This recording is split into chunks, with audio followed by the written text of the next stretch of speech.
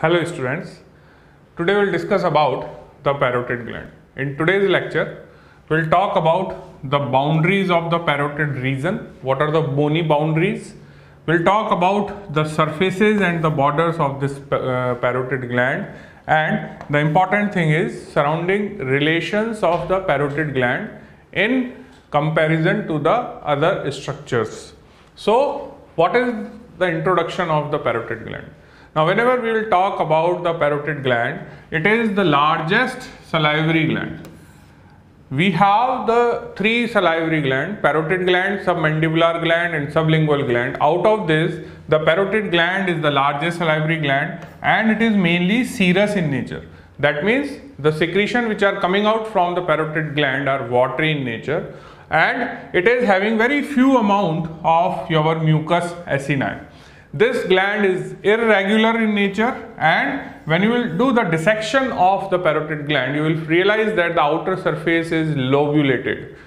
Now, when you will see the extension of the parotid region, it is from the zygomatic arch to the upper part of the neck where it overlaps the posterior belly of the digastric and anterior border of sternocleidomastoid. So here when you will see the parotid gland, now this is the black color line which is showing the outline of the area where you will find this parotid gland. Now in this region you can see that this is your posterior belly of digastric. Now here is the posterior belly of digastric. Now this gland is overlapping the posterior belly of digastric and the gland is approaching into the lower part of the neck and this is your sternocleidomastoid. So in this area the gland is overlapping the sternocleidomastoid. This part is the area of carotid triangle. So the gland is reaching into the upper part of carotid triangle and this is your masseter muscle. So the gland anteriorly overlapping the masseter muscle. Clear?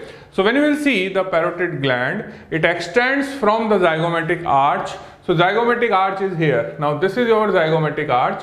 So it extends from the zygomatic arch and it will enters into the upper part of your neck.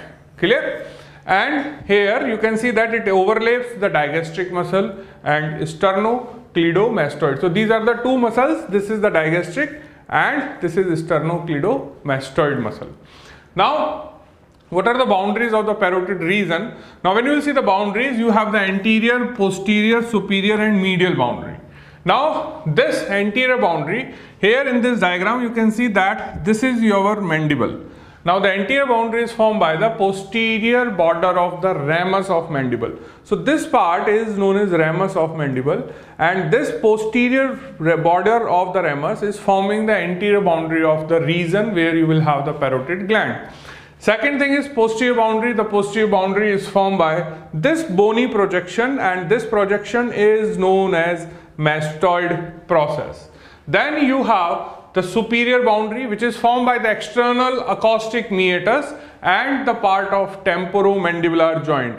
So this is your external acoustic meatus and in front of the acoustic meatus you have this area which is actually the posterior part of your TM joint then you have medial relation where you have a bony process and that is known as styloid process. Clear?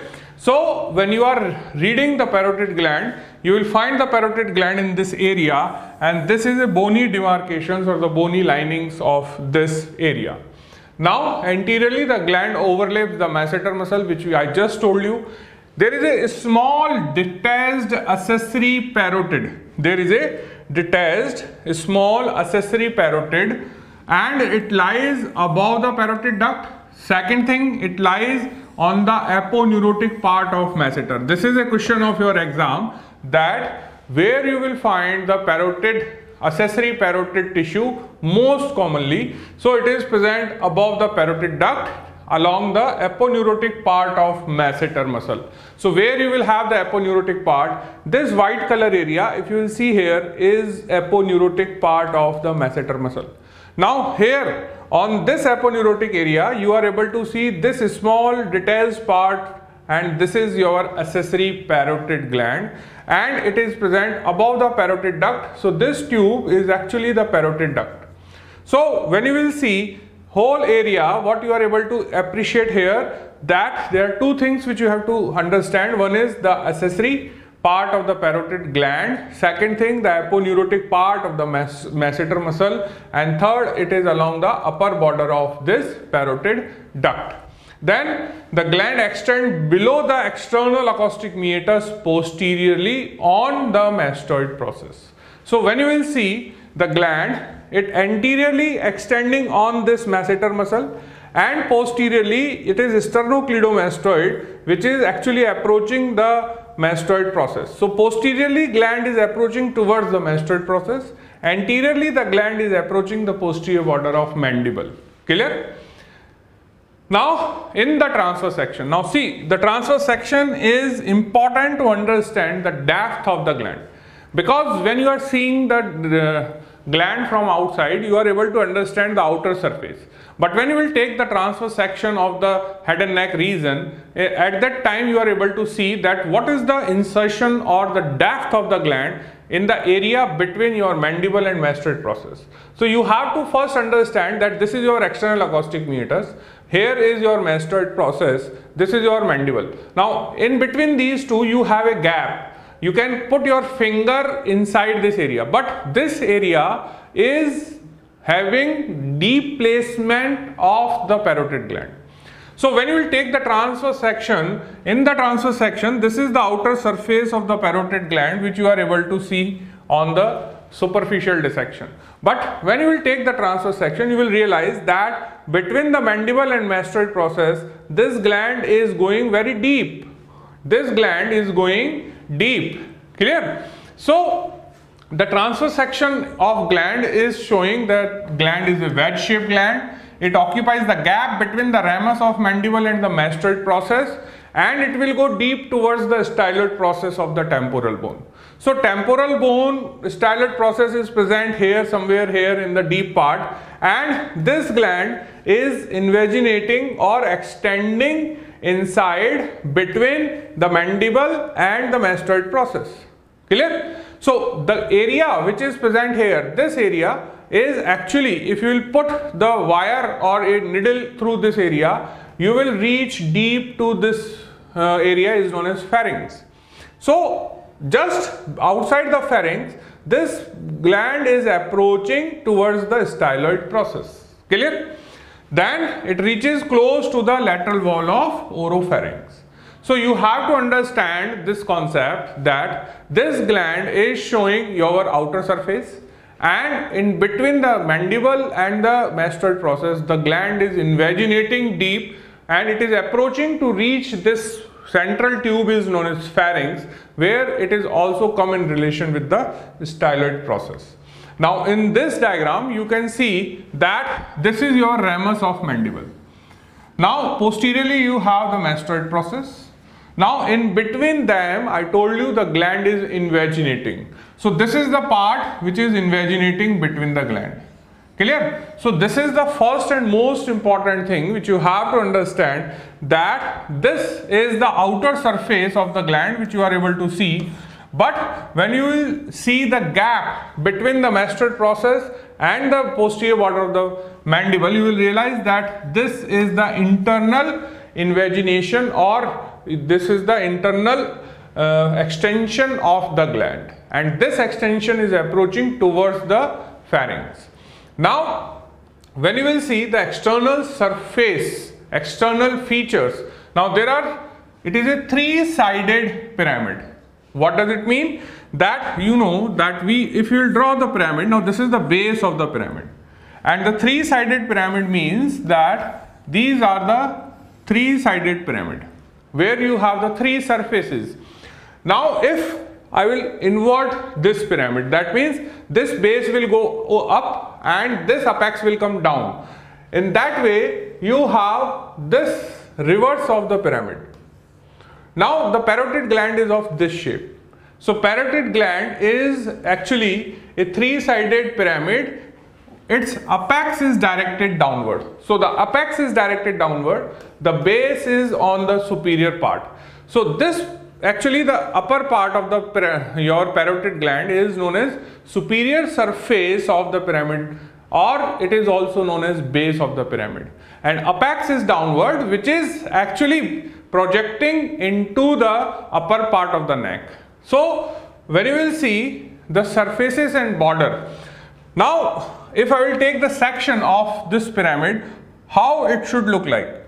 Now this should be look like a wedge of now in this wedge when I am taking a transverse section of this gland it should look like a three-sided pyramid all the three surfaces in this section so this is your suppose towards the mandible so this is anterior border this is towards the mastoid process so this is the posterior border and it is facing towards the pharynx so it should be the medial border.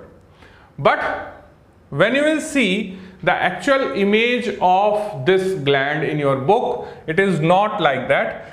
It is actually having the change in the surfaces why there is a change in the surfaces? Because the mandible bone is coming anteriorly and mastoid process bone is the mastoid process present posteriorly. So ultimately this bone is invaginating from anterior side, this bone invaginating from posterior side. And what should be the final picture of this uh, surface? The final picture will be like you have the impression for, for both these bones. So this is what you have in your books.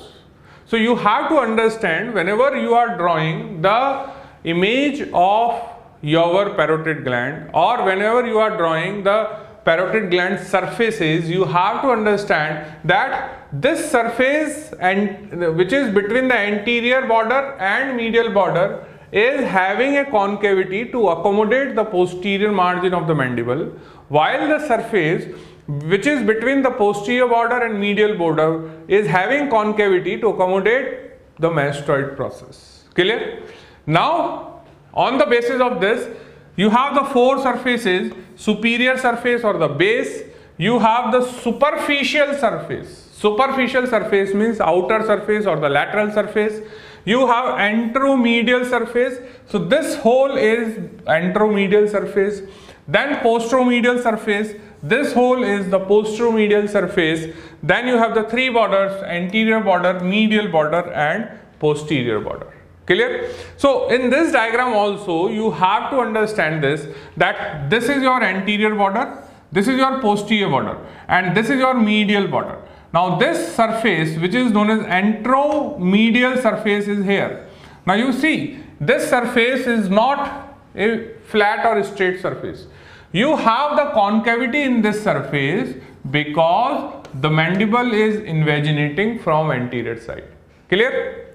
So you Whenever you are drawing the diagram of parotid gland, we always draw, draw in this fashion that you have to keep these impressions on the gland for the surrounding bone from anterior side mandible, from posterior side mastoid process.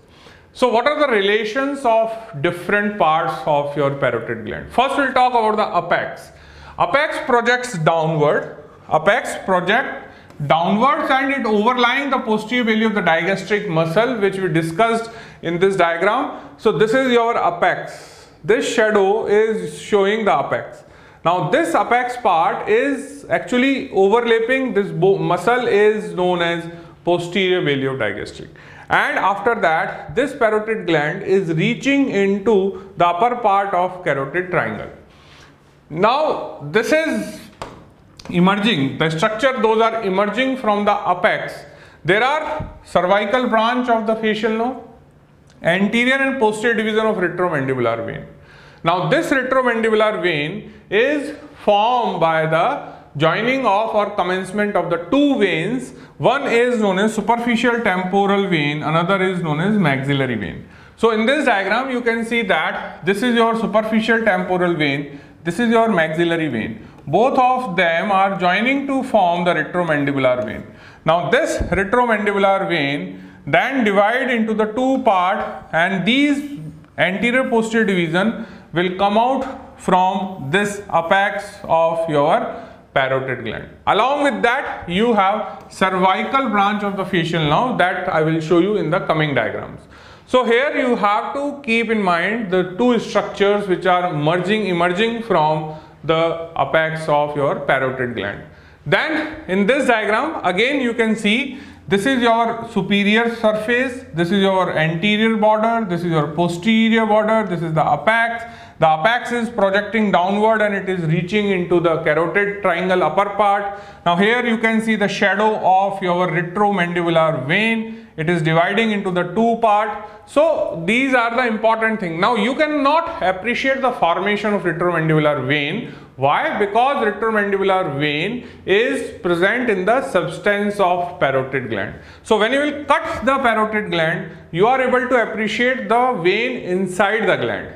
Clear now, what is the superior surface relation or the base? Now, this is known as superior surface or base. I told you that apex is downward, base is on the upper part.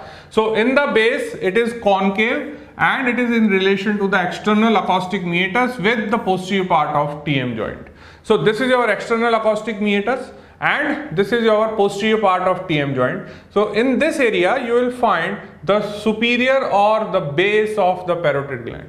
Now in this base you are having the two structure those are coming out and going into the temporal area. First is known as superficial temporal artery and another is auriculotemporal nerve.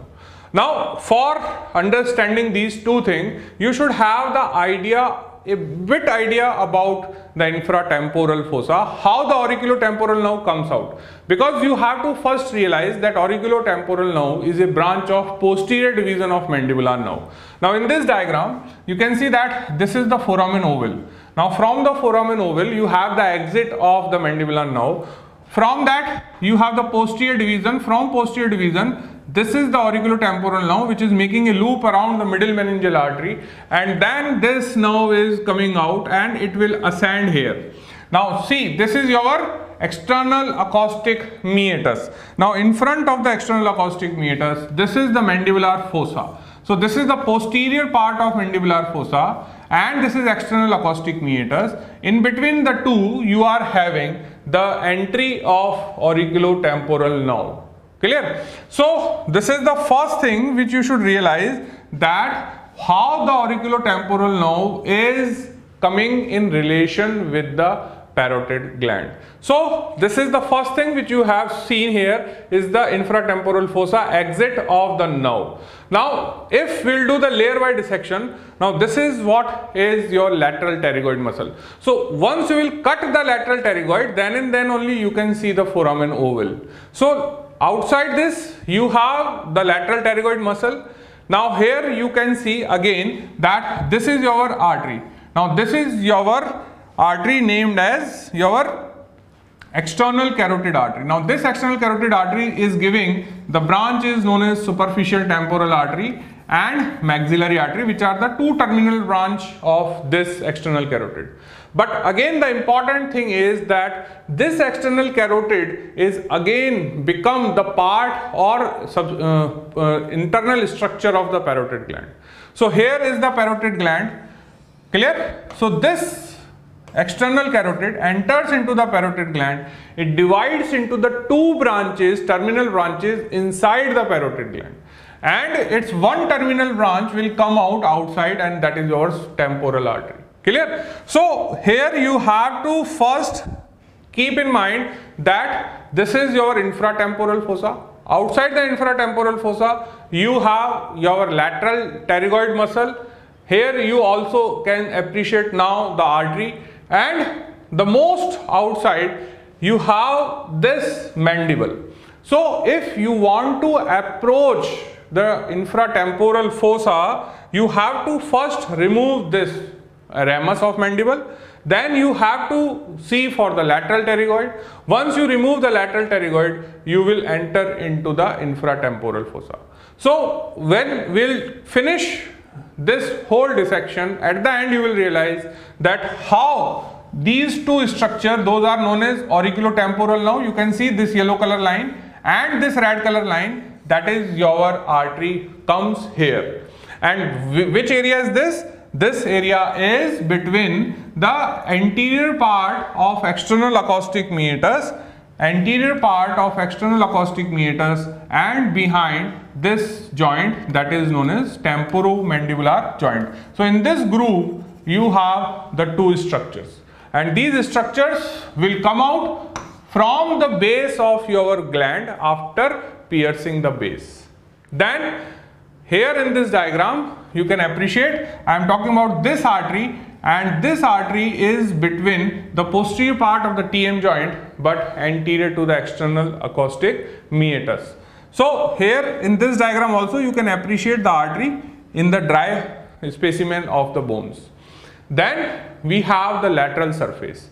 Now lateral surface is the outer surface and this outer or superficial or the lateral surface is the largest and it is covered from superficial to deep. If you do the layer by layer dissection, you will find you have the skin, you have the superficial fascia and platysma. Now in this diagram, you can see that this is your parotid gland. Now the this portion that is known as your anterior part of the parotid gland is overlaid by these are the fibers of platysma. So you have to realize that platysma is even going so upper eh, so long that it covers the sum of the areas of your parotid gland. Clear? So it is not only the superficial fascia but the platysma also contribute into the layer of your superficial surface of parotid gland.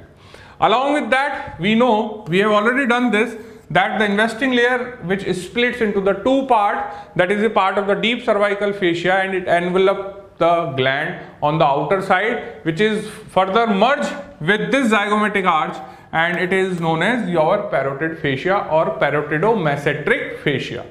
Now I, I will discuss it in detail in the next video that what are the different part of this parotid fascia. Then this outer leaf extends superiorly to the as a parotidomasseteric fascia. The deep parotid lymph nodes are also embedded into the gland. So when you see the outside, in outer part, what are the layers? First is the skin, then you will have superficial fascia, you have the platysma, you have the investing layer uh, modification is known as parotid fascia and along with these fascia you have the parotid lymph nodes. Then what is anteromedial surface? Now I told you that anteromedial surface is the surface that is present between the anterior border and the medial border.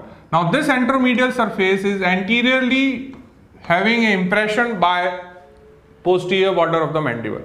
Now you know that what are the muscles attached on outer and inner surface of mandible.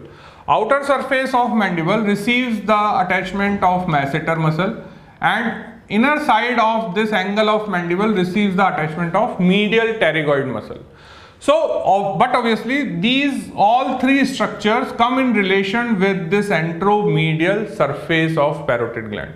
So it, it is deeply grooved by the posterior part of the ramus of mandible. It is related with the masseter and medial pterygoid plus the ramus of mandible. So all these three are actually the structures those are emerging from the anterior side and invaginating the anteromedial surface to provide the concavity. So you can see that this concavity on the anterior aspect is in relation with the three structure. This is the ramus of mandible and it is the posterior margin. Along with that outside you have the masseter, on inside you have the medial pterygoid muscle. Apart from that, the gland is also wrapped around the part of your TM joint. The branches of facial nerve emerges on the face from underneath the anterior margin of this surface. So from this surface, the some branches of facial nerve will also emerges. Then we have the posteromedial surface. What is posteromedial surface? Posteromedial surface is this is your anteromedial surface and this is your posteromedial surface. Now this posteromedial surface is having the area for mastoid process. this anteromedial surface is having the area for ramus of mandible. Now on this posteromedial surface where you have the mastoid process, you know that outside the mastoid process we have the attachment of muscle is known as sternocleidomastoid while on the inner side of the mastoid process you have the posterior belly of digastric. So it is more on the mastoid process plus on the deep it will reach to styloid process. So here is the styloid process. This is the pharynx. So this medial border is approaching the pharynx. So it is known as pharyngeal border. And when this border is going to the pharynx in the way it is also come in relation with the structure around the styloid process.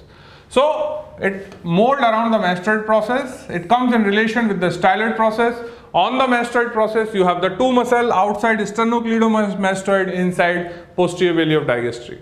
And when you will see the styloid process, what obviously comes in the relation with the muscles which are present on, on, on the styloid process, like stylohyoid. The styloid process and its muscles separate the gland from the internal carotid artery, internal jugular vein and the last four cranial nerve. Because on the medial side here you have the jugular foramen and carotid canal. The following structures, those enter the gland through this structure. Now this is the most important multiple choice question which you have to understand that when we'll discuss in the next class the structures present inside the parotid gland, you are able to realize that there are three structure in the gland.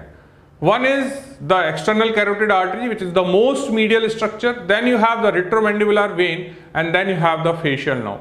Now the important thing is that the retromandibular vein and the facial uh, this artery these both are the vertical structure. Suppose these are the two structure.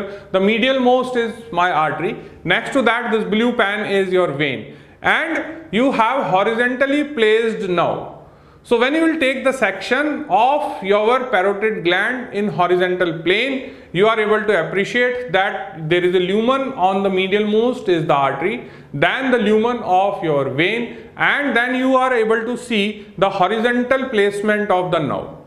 Now the, the important thing is that the artery and vein are related with which layers or uh, which surfaces of the parotid gland.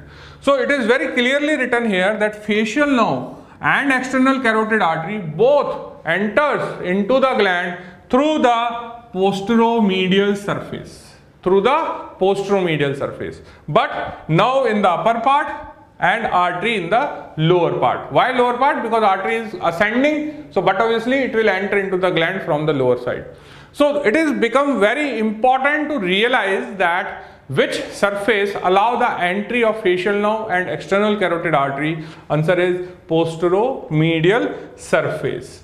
Now here in this diagram also you can see that when we'll discuss about the mastoid groove, mastoid process, so this is the mastoid process, this is your mandibular fossa. Now this mandibular fossa is for the head of mandible where you have the TM joint. Now this is your styloid process. Clear? And here you have the jugular fossa and this is the carotid canal. Now if we will do the placement of your parotid gland, now this parotid gland is having the outer surface which is here. Then you have the pharynx which is present here. Suppose this is the pharynx. Now this is the your anteromedial border. This is your anteromedial border. Now this is your postero, posteromedial border, something like this. Clear? Now here now you can understand that this gland is now in relation with the structure which are present here that is the posterior border of the ramus of mandible and here it is related with the mastoid process. Here it comes in relation with the styloid process and this styloid process separates the gland from the structure which are here like internal carotid artery and last four cranial nerve. Then in this diagram you can appreciate that this is the anterior border of parotid gland. Now from the anterior border of parotid gland you are having the emerging of your arteries nerves like the temporal branch, zygomatic branch, upper and lower buccal, you have the marginal mandibular. While the apex, when you will see the apex, this is the apex and from the apex you have the exit of this nerve and these are the branches of transverse cervical nerve. So transverse cervical nerves emerges from the apex while the most of the branches are emerging from the anterior border. The posterior border will give emerging of posterior auricular nerve which is a motor nerve to supply the posterior belly of your occipital. Now in this lower part you can see that this is the horizontal course of facial nerve. Now this is your posteromedial surface. So the question is that facial nerve enters through which surface? Answer is posteromedial surface. So what is about the anterior border? I already told you the nerves, those are coming out. So this is the question of your exam. Write down the structure from above downward emerging from the anterior border. So upper se niche from above downward you have the temporal then you will have zygomatic then you will have upper and lower buccal and then you will have this mandibular now marginal mandibular not the cervical because cervical will come out from the apex so what are the name written here? Temporal zygomatic. Then you will have buccal now. These are upper and lower buccal. And lastly the marginal mandibular. So four divisions are coming out from anterior border. Now this buccal nerve will divide into the two branch upper buccal and lower buccal. And in between the upper and lower buccal you have the parotid duct. So parotid duct present between the upper and lower buccal branches of buccal nerve which is a branch of your facial nerve. So all these are the motor branches those will supply the different muscles of the face. Then Posterior border, I told you that posterior border is the border which separate the lateral surface from the posteromedial surface and from the posterior border you will have the two structure. One is the posterior auricular artery and the posterior auricular branch of facial nerve.